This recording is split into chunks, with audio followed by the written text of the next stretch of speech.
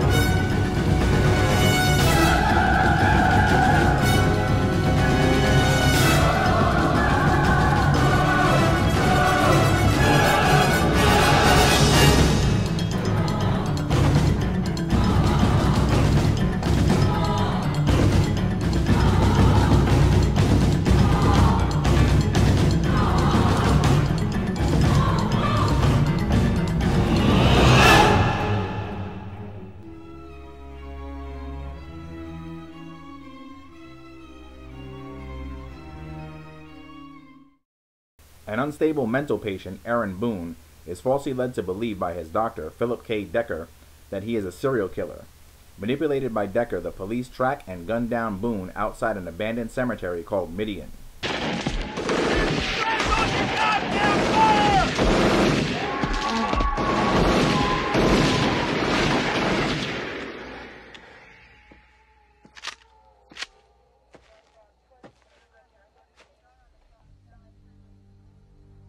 Previously bitten by Peloquin, one of Midian's many monstrous inhabitants, Boone is suddenly resurrected.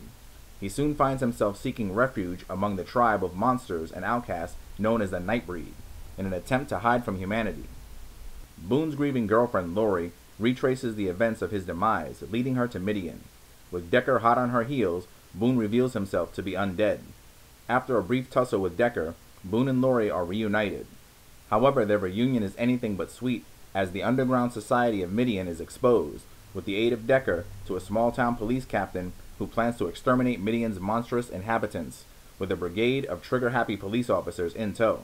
A prophecy is soon revealed involving Boone as Midian's savior. Lori, I didn't believe the prophecies. It's all over. What prophecies? You want to see?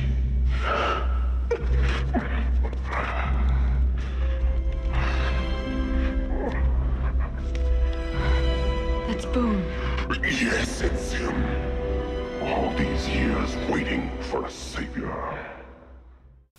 Nightbreed essentially flips the script and turns the monsters of Midian into sympathetic characters, which in my opinion is a welcome change of pace.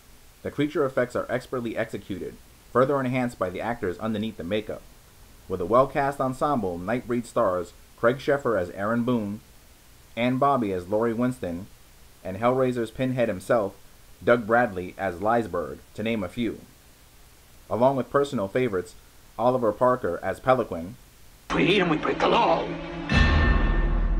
It's true. Everything's true. God's an astronaut. Oz is over the rainbow. And Midian's where the monsters live. and director David Cronenberg as Dr. Philip K. Decker. Some may know Cronenberg from directing classic body horror flicks such as Videodrome and the 1986 remake of The Fly.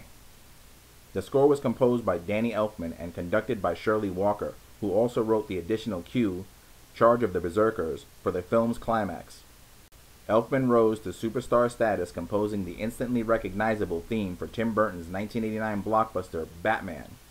Once again, Elfman sets the tone for every scene with his musical cues, enhancing action as well as adding to atmosphere.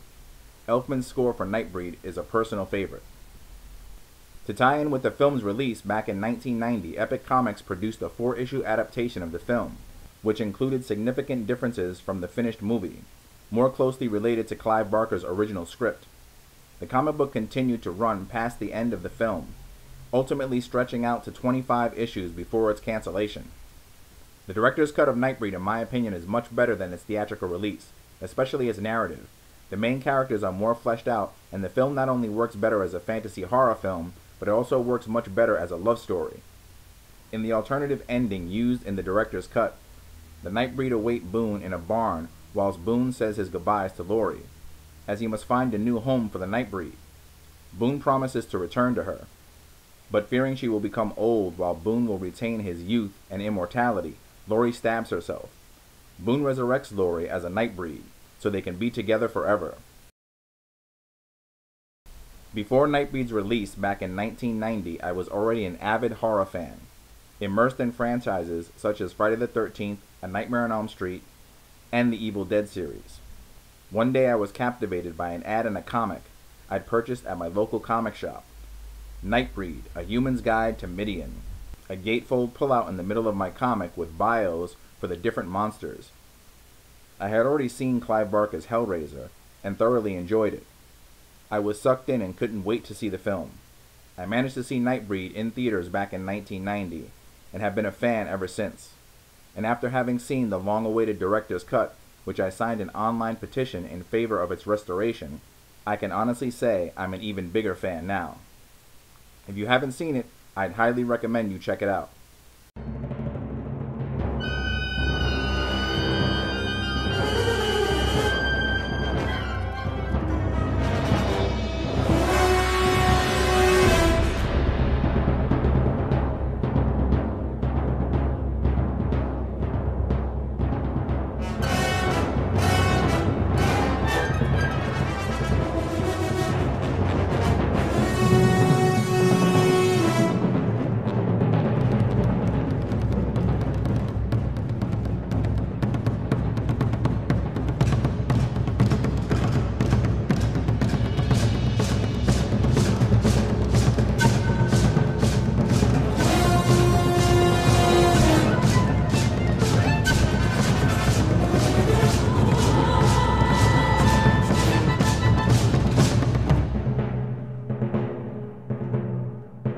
Thanks for letting your geek flag fly with Mad About Superheroes.